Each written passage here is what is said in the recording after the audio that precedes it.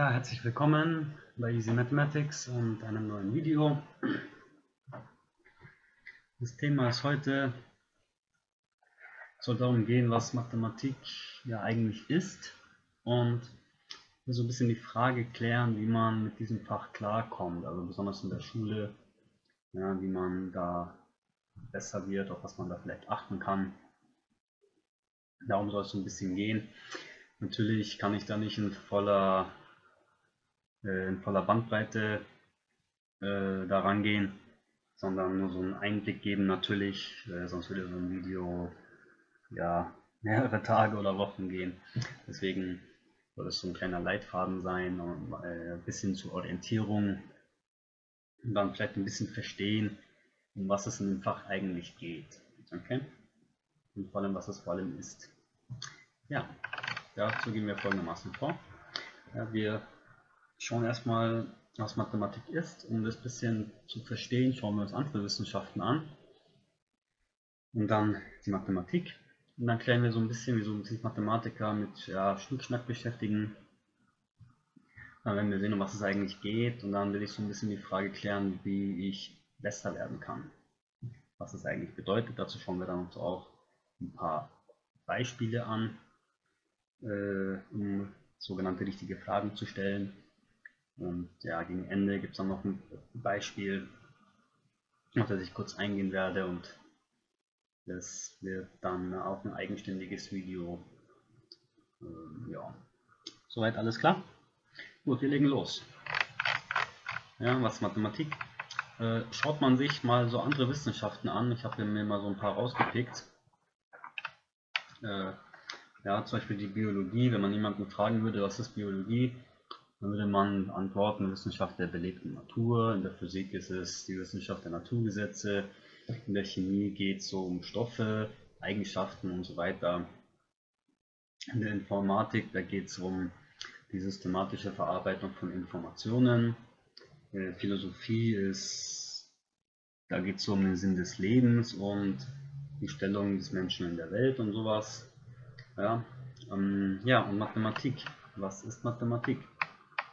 Ist es die Wissenschaft von Zahlen oder ist es die Wissenschaft von Buchstabensalat? Nein, es ist folgendes. Ja, äh, das Wort Mathematik, das kommt ja aus dem Griechischen und heißt sowas wie die Kunst des Lernens bzw. Nachdenken. Ja, und man könnte die Mathematik praktisch als Wissenschaft der Muster, Strukturen, Zusammenhänge äh, beschreiben. Ja, es geht also um Mustererkennung, um Zusammenhänge, das ist die Mathematik. Ja, und wieso, wieso beschäftigen sich Mathematiker mit so ja, scheinbarem Schnickschnack? Ja, Beispiele lernen wir aus vom Nikolaus. Da ist die Wurzel 2 rational, dann die sogenannten Millennium-Probleme, da könntest du in die Videobeschreibung reingehen. Die Türme von Hanoi, was soll das Ganze? Und ja, äh, das Haus von Nikolaus, damit fängt praktisch so die Graphentheorie an. Auch ein motivierendes Beispiel ist das sogenannte Königsberger Brückenproblem. Das habt ihr vielleicht auch schon mal gehört. Ja, ähm, äh, die Türme von Hanoi, die kennt ihr vielleicht auch. Und ich habe ja schon hingeschrieben, äh, es gibt in der Tat Mathematiker, die haben mithilfe der Türme von Hanoi ihren Doktortitel bekommen Jetzt kann man sich natürlich fragen, ja, das ist ja voll geil, den würde ich ja auch bekommen. Äh, wieso vergibt man da eine Doktorarbeit? Ja, ähm, es geht praktisch mehr darum, ein Stapelproblem zu analysieren. Ja, man denkt da vielleicht jetzt an äh, so einen Schiffshafen mit einem Container und die müssen natürlich umgestapelt werden auf Züge, auf andere Schiffe, auf Fahrzeuge. Und das muss man natürlich organisieren, sodass das effizient abläuft. Ja, das ist praktisch, wieso man eine Doktorarbeit vergibt. Und dann geht es natürlich darum, äh, unter welchen Voraussetzungen gelingt mir das optimal und so weiter und so fort. Das heißt, ich kann da schon, äh, bevor ich praktisch das Umstapeln beginne, dann vielleicht sogar schon feststellen, wie muss ich mein Schiff am besten schon mal beladen und solche Sachen. Ja? Dann natürlich auch die Primzahlen. Äh, das ist ja auch so ein Schnickschnack. Äh, aber wie gesagt, es die ISBN bei Büchern, die Barcodes, QR-Codes, Passwörter aus dem Internet. Das hat alles mit Primzahlen zu tun, die heute gar nicht mehr wegzudenken sind. Ja, und jetzt kann man natürlich immer noch fragen, sind diese Probleme irgendwie wichtig? Es geht eigentlich gar nicht darum, ob sie wichtig sind. Das eine vielleicht ja, man kann jetzt hier sagen, ja, Tim von einem neuen Stapelproblem, ja, sehe ich ein, hat das irgendwie wichtig. Es geht aber eigentlich gar nicht darum, ob sie wichtig sind, weil das Problem ist, ob sie wichtig werden für andere, wird oft erst später ersichtlich. Rein mathematisch sind die Probleme einfach nur interessant. Und ja, Mathematiker haben, haben einfach Lust zu knobeln, Probleme zu lösen, wieso funktioniert etwas, wieso funktioniert etwas nicht, woran liegt es und so weiter. Ja, es ist einfach rein mathematisch interessant und die Beweise, die man, nach denen man dann sucht, die, die liefern womöglich oder öffnen völlig neue Türen, die irgendwie unbekannt sind. Ähm, man kann zum Beispiel, äh, es gibt ja unendlich viele Primzahlen, ja, man kann es natürlich klassisch beweisen, wie es Euklid gemacht hat, indem man das Gegenteil annimmt und dann sagt, okay, das kann nicht sein, dass es nur endlich viele gibt, es muss unendlich viele geben. Und wenn man da mal nach anderen Beweisen sucht, ist es ziemlich interessant, dass man diese Tatsache auch beweisen kann mit, äh, mit Gebieten der Mathematik, die eigentlich mit Primzahlen gar nichts zu tun haben. Ja? Ähm, der eine oder andere hat das Wort vielleicht schon mal gehört. Äh, ähm, Topologie. Ja, die Topologie beschäftigt sich praktisch mit den Strukturen von, von ja, man sagt Räumen, also Topos heißt Raum ja, und, Logie, äh, und Logos ist Lehre, also die Lehre des Raumes. Und das hat mit Primzahlen erstmal überhaupt nichts zu tun, aber man kann auch hier einen Zugang finden, um mit topologischen Argumenten nachweisen, dass es unendlich viele Primzahlen gibt. Und das ist einfach nur ziemlich abgefahren, weil man so dann praktisch eine Möglichkeit hat, die Zahlentheorie mit der Topologie in irgendeiner Weise zu verbinden. Und so ist es auch zum Beispiel bei dem Haus von Nikolaus, also die Graphentheorie, hat auch was mit den Türmen von Hanoi zu tun. So eine Doktorarbeit ist meist eine graphentheoretische Doktorarbeit.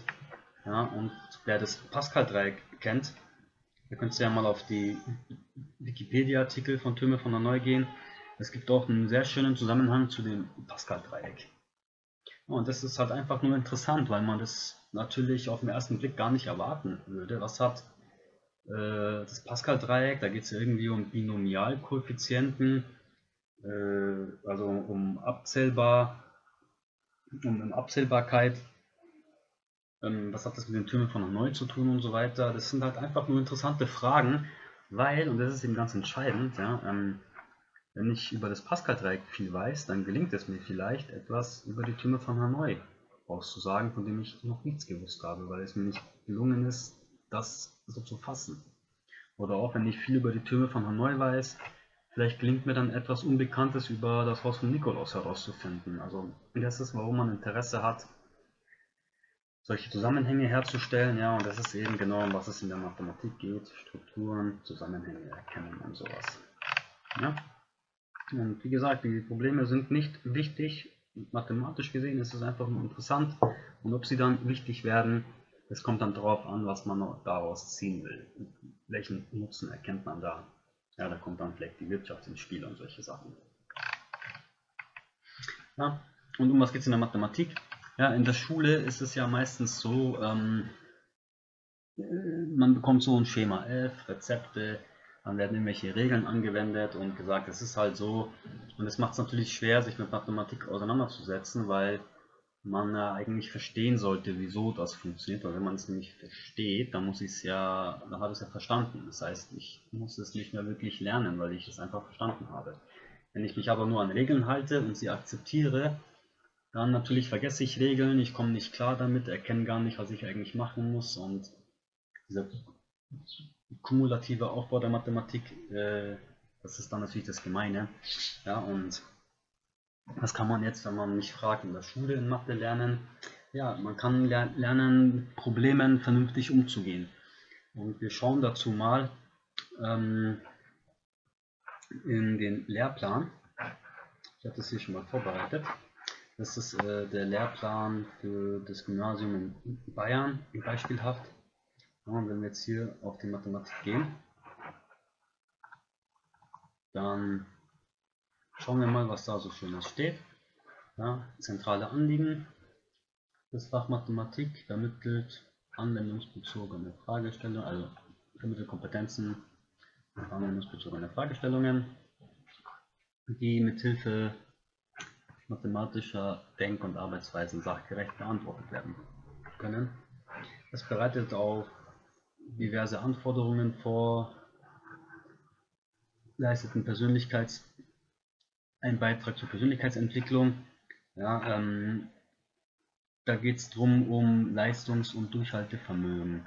Ja, ähm, es ist zum Beispiel so, äh, wenn man sich irgendwie bewirbt mit, äh, mit irgendeinem Zeugnis und man hat da irgendwie eine 5 in, in Mathe, dann sagen die Leute nicht, ah, der kann halt nicht rechnen, der hat eine 5, sondern die sagen, der hat kein Durchhaltevermögen. Das ist wie so eine Mathe-Note interpretiert wird.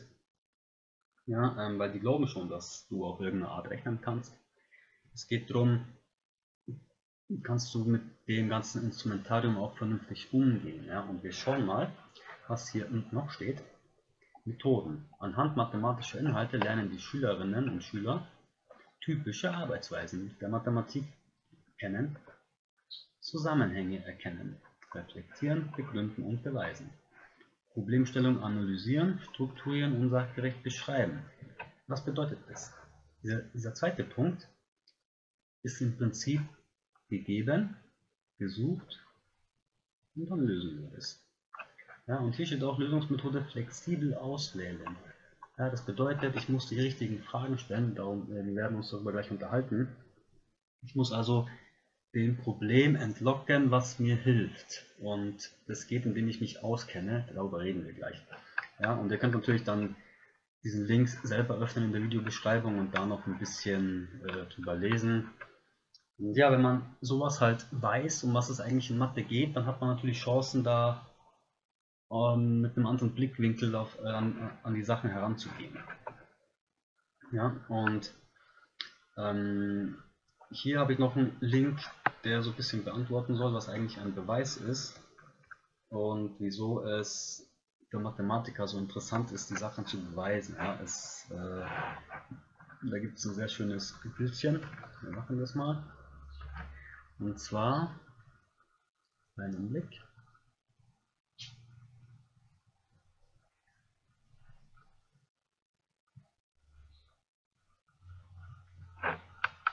Ja, wozu brauchen wir einen Beweis? Das könnt ihr selber lesen mit dem Link. Und dieses Bild finde ich eigentlich sehr schön, weil das sehr gut beschreibt, äh, um was es da eigentlich geht. Ja? Äh, eine mathematische Theorie ist dieses schöne Häuschen hier. Und wenn man ein Haus baut, dann braucht man erstmal ein Fundament. Ja? Wir fangen unten an. Das sind unsere sogenannten Axiome, die wir festlegen, mit denen wir arbeiten wollen. Und dann leiten wir daraus irgendwelche schönen Sätze ab, das sind die Theoreme, und so weiter. Dann haben wir hier eine, äh, eine schöne Theorie, unser schönes mathematisches Häuschen. Und was der Mathematiker praktisch macht, ist, wir müssen diese Ziegel aufeinander bauen. Und wie geht das? Mit Hilfe des Mörtels. Ja? Und der Mörtel, das sind die Beweise. Die halten alles zusammen. Die erklären, warum der Stein dahin kommt, wieso er hält und so weiter. Dieses Bild, finde ich, beschreibt sehr schön, wie Mathematiker arbeiten. Ja. Und nachdem man das vielleicht ein bisschen verstanden hat, kann man jetzt fragen, wie werde ich besser? Also auf was kann ich selber achten, um besser zu werden? Ja, dann natürlich ist da erstmal wichtig, ob ich überhaupt besser werden will. Ja, wenn mir das natürlich egal ist, dann macht das Ganze natürlich keinen Sinn. Wenn ich aber bereit bin, in Mathe besser zu werden, dann muss ich auf einige Sachen achten, und zwar, ich muss mich auf die Mathematik einlassen. Ja? Das heißt, nicht einfach nur, wie rechne ich das, sondern vor allem, wieso mache ich das. Und dazu muss man halt bereit sein, ein paar Kopfschmerzen zu ertragen. Man muss bereit sein, hinzufallen. Und man muss natürlich irgendwie lernen, sich mit Mathematik zu unterhalten. Und äh, ja, es geht darum, praktisch die richtigen Fragen zu stellen, also die Fragen zu stellen, die mir für das Problem helfen. Und die denkbar schlechteste Frage ist, wofür brauche ich das? Ja, das ist, man könnte das natürlich beantworten mit, du willst die Prüfung schreiben, mittlere Reife, Abitur, sonst was, deswegen brauchst du das. Ähm, diese Frage ist die denkbar schlechteste. Es ist viel besser zu fragen, wie sieht eigentlich mein Problem aus? Und dann, was weiß ich denn über das Problem? Was weiß ich darüber? Was hilft mir? Und umso besser ich mich auskenne, umso eher habe ich Chancen, das Problem vernünftig zu knacken. Und ich muss dabei natürlich immer mein Ziel im Auge behalten, was ich eigentlich tun will. Okay? Das heißt, wie lasse ich mich auf sowas ein? Natürlich wäre es sehr wichtig, wenn man sich dafür interessiert, weil dann kommt natürlich das Einlassen von alleine. Und es ist auch immer nicht schlecht, Fragen zu stellen, äh, wieso wird etwas so gemacht, warum ist es so, wieso wird es gemacht. Dann, wenn man ein Problem hat, vielleicht erstmal rumprobieren, ein bisschen spielen, vielleicht erkennt man ein Muster. Viel drüber nachdenken hilft und natürlich die Definition genau verstehen. Macht es Sinn, das, so etwas zu definieren? Ja. Und nachdem schon mehrmals das, die Wortkombination richtige Frage gefallen ist, wie stelle ich die richtigen Fragen? Ja, ähm, es ist ja sehr oft so, dass man irgendwie sagt, ja, ich komme nicht auf den Ansatz. Ja, das ist natürlich das Problem. Ohne Ansatz habe ich keine Chancen, das vernünftig hinzukriegen. Ähm, und wieso kommt man nicht auf den Ansatz? Es liegt im Prinzip daran, weil man es im Kern nicht richtig versteht. Was heißt das? Ja, wenn man sich mit Mathematik beschäftigt, dann haben diese mathematischen Begriffe, also unsere Vokabeln, haben strenge mathematische Bedeutungen. Das ist, was wir Definition nennen. Und wenn man die Definition genau versteht, dann gibt die Definition möglicherweise Hinweise zum Lösungsweg. Wir werden das gleich sehen und vielleicht auch noch in anderen Videos. Ja, äh, auch bei den Hausaufgaben könnt ihr mal darauf achten. Eine Definition sagt im Prinzip, was du zu machen hast, um dahin zu kommen. Und das muss man verstehen. Und auch was man auch verstehen muss, ist, dass ein mathematischer Text nicht einfach nur gelesen wird und da kommen schöne Wörter vor, sondern sehr einfache Begriffe haben mathematische Bedeutungen. Es könnten, ich habe hier mal so ein paar Beispiele aufgelistet, sowas wie dicht, vollständig, abgeschlossen, Wirkung, einfach, zusammenhängend, Gebiet, Weg, Dimension, Zerlegung, diese Beispiele, die haben alle strenge mathematische Bedeutungen und wenn man sowas in Aufgaben liest, dann muss man wirklich verstehen, was diese Wörter eigentlich bedeuten. Und wenn man die Bedeutung kann, äh, kennt, dann liefert die Definition Hinweise. Und das muss man verstehen. Ja, also mathematischen Texten haben so alltägliche Wörter wie Gebiet oder Wirkung oder abgeschlossen, haben präzise Bedeutungen. Und die darf man eben nicht unterschlagen. Ja, und ja, wie lese ich jetzt nun mathematische Texte korrekt? Ich muss natürlich die Aufgabe erstmal richtig lesen, und zwar nicht Wort für Wort, sondern ich meine es wirklich so, wie es da steht, Pixel für Pixel.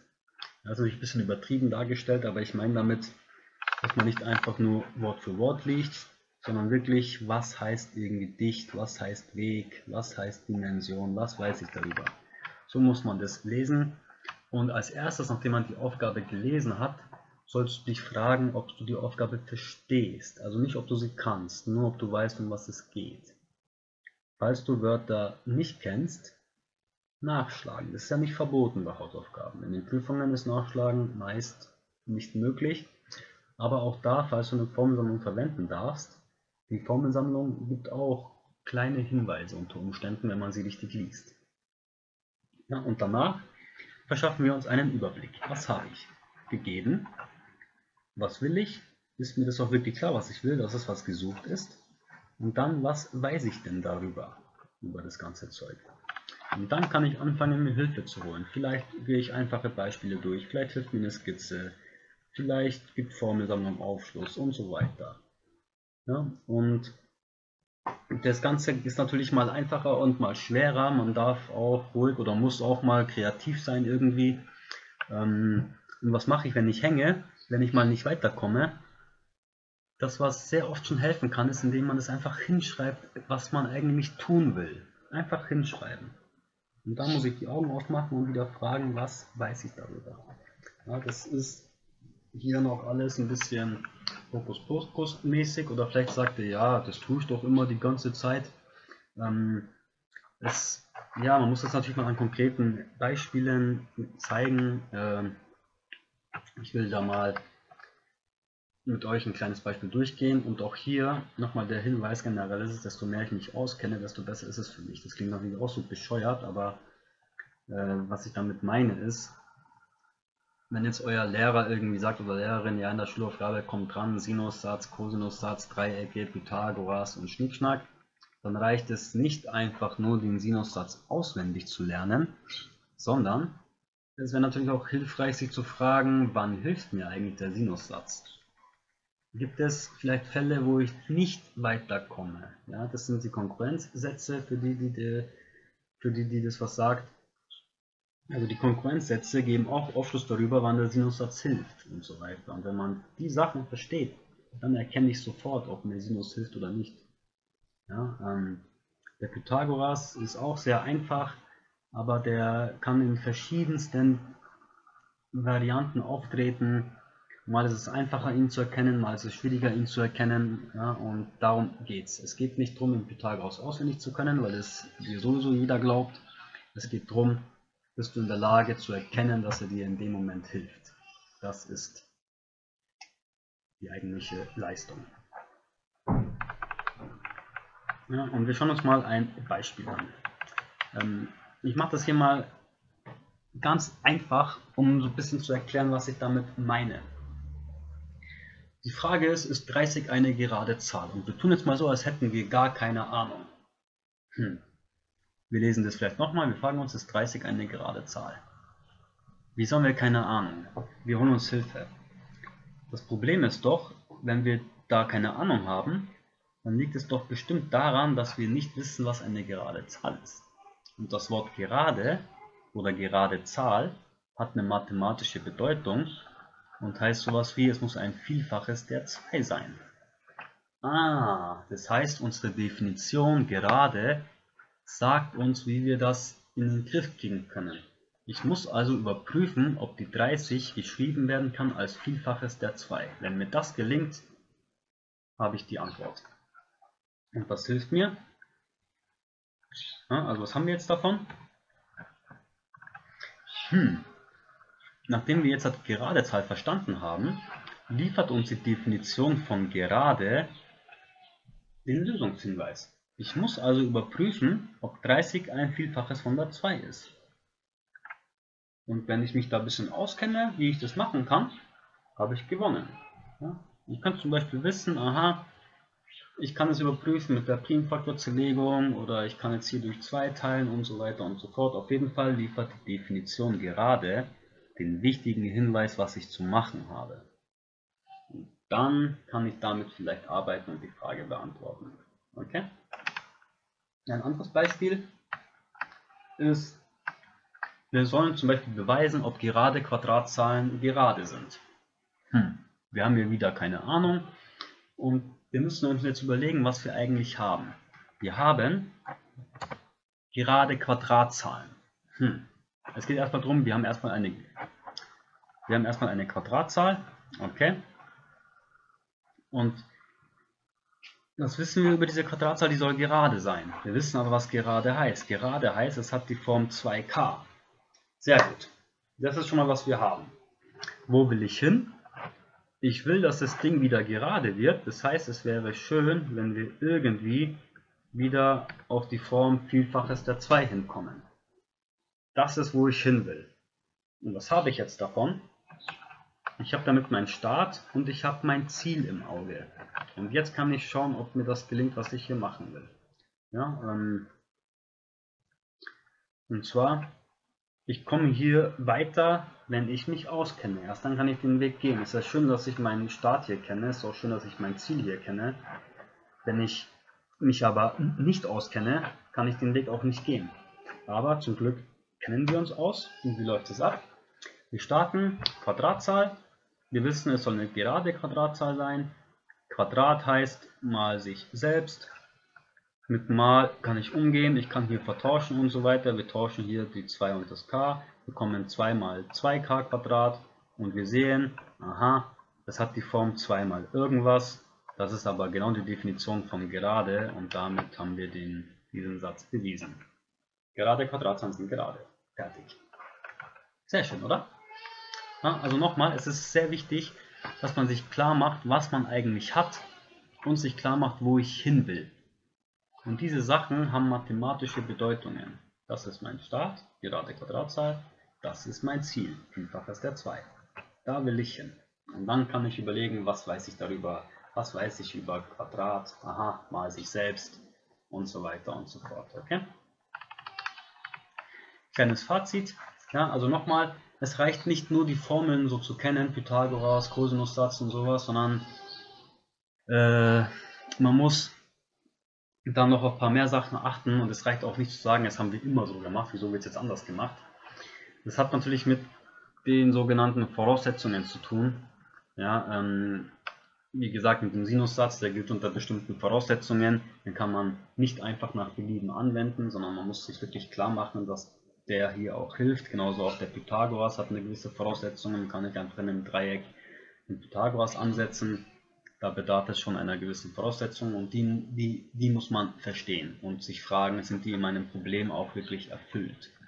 Ja, und ich habe hier ein abschließendes Beispiel, das ich vorstellen will ähm, und das dann vielleicht ein eigenständiges Video wird. Und zwar, das ist die sogenannte Kreisquadratur. Das, die sagt, es ist nicht möglich, einen beliebigen Kreis in ein flächengleiches Quadrat zu konstruieren. Hm. Sehr schöner Satz. Wir sehen hier mathematische Wörter wie, wie Kreis, Flächengleich und Quadrat. Das sind mathematische Wörter.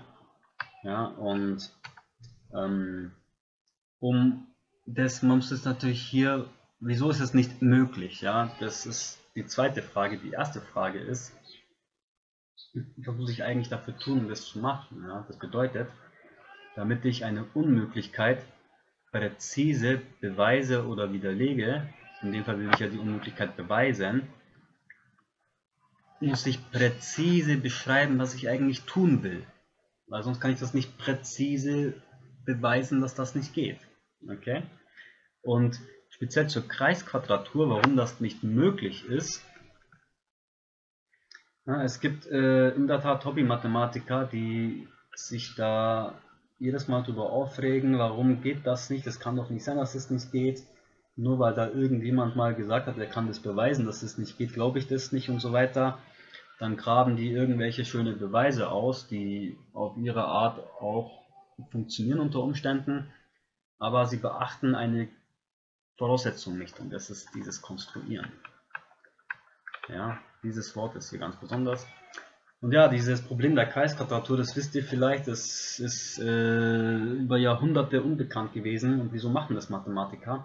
Ja, es geht natürlich darum, ähm, um, um die Erkenntnis. Ja, man will verstehen, warum ist das nicht möglich? Woran scheitert es?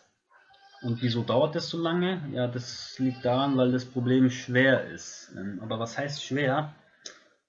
Äh, das ist wieder eine Ansgeschichte, was schwer heißt. Und auch, man kann sich natürlich fragen, ja, versteht wirklich jeder Mathematiker diesen Beweis zu 100%? Wenn es so lange dauert, auch da kann man sich sicher sein, äh, ja, das sind nicht so einfache Beweise. Ja. Ähm, und ja, was ist jetzt der wahrscheinliche Grund dafür, dass das so schwer ist? Liegt es an der Eigenschaft vom Kreis? Liegt es an der Definition von Konstruieren? Oder vielleicht doch etwas anderes? Ja, und das sind die Gründe, wieso es schwer ist. Es liegt tatsächlich daran, dass es an der Definition von Konstruieren liegt. Das ist hier ein sehr wichtiges Wort. Und in der Tat ist eine Eigenschaft vom Kreis dafür verantwortlich, dass das hier nicht funktioniert. Ja, und äh, so einen Beweis zu finden, das hat wie gesagt äh, dermaßen lang gedauert, weil man nämlich dieses geometrische Problem irgendwann übersetzt hat in ein algebraisches Problem. Und dann hatte man da starke Methoden, äh, um dann dieses Problem in den Griff zu bekommen. Ja, und das wird vielleicht ein anderes Video. Nur ein grober Hintergrund. Ja, diese, diese Definition konstruieren, die wird dazu führen, dass nur bestimmte Zahlen konstruiert werden können. Ja, und diese bestimmten Zahlen, die nennt man konstruierbare Zahlen. Und dann stellt man fest, dass diese konstruierbaren Zahlen Lösungen von bestimmten Gleichungen sind. Auch hier bestimmt heißt Nullstelle von Polynomen mit gewissen Eigenschaften. Das nennt man dann algebraische Zahlen. Und dann stellt man irgendwann fest, dass Pi nicht zu diesen algebraischen Zahlen gehört, sondern zu den sogenannten transzendenten Zahlen und deswegen ist die Kreisquadratur nicht möglich. Klingt alles irgendwie super easy, aber dieser Zusammenhang zu diesen Polynomen, das war der springende Knackpunkt. Und, und der Transzendenzbeweis von Pi, der ist äh, wirklich ein großes, großes, großes Kunstwerk. Ja, und wieso ich der Meinung bin, dass niemand den Beweis zu 100% versteht, äh, liegt daran, nachvollziehen ja, ihr könnt es ja mal lesen und dann denkt man sich, ja cool, schön, verstehe ich alles und so weiter. Klar, das mag schon durchaus sein, aber was bei solchen mathematischen Artikeln immer extrem schwer ist, das ist die Idee, die diese Person gehabt hat. Ja, ähm, in dem Beweis wird irgendwoher eine schöne Funktion hergezaubert, die dann hilft. Und die wird eben aus dem Hut gezaubert. Und wenn man dieses Kaninchen aus dem Hut versteht, versteht man den Beweis. Und dazu müsste man eigentlich wissen, was sich der Autor dabei gedacht hat, wie man auf die Idee kommt, das Problem so anzugehen. Das ist wirklich große, große, große, große Kunst. Ja, und wie gesagt, Natürlich kann man einen Kreis in ein flächengleiches Quadrat kneten, äh, grob messen, anlegen, fertig, beliebige Genauigkeit und so weiter. Aber wieso es nicht funktioniert, ist eben, es geht nicht unter bestimmten Bedingungen. Und das ist dieses Konstruieren, das hat strenge Regeln und deswegen funktioniert das nicht. Und das wird vielleicht ein anderes Video. Alright? Ja, ich hoffe, dass euch das Video gefallen hat und äh, ich hoffe auch, dass du so ein bisschen Einblick gewinnen konntest, äh, um was es da eigentlich genau geht und auf was man da vielleicht achten kann. Klar, das Video ist mh, hm, ja eine grobe Richtlinie. Ich habe bestimmt auch Sachen nicht beachtet. Äh, man kann ja auch nicht, wie gesagt, in kompletter Bandbreite argumentieren. Es soll so ein kleiner Leitfaden sein und ihr könnt ja mal bei den Hausaufgaben darauf achten ähm, und viel Erfolg damit auf jeden Fall. Ja, bis zum nächsten Mal. Ciao.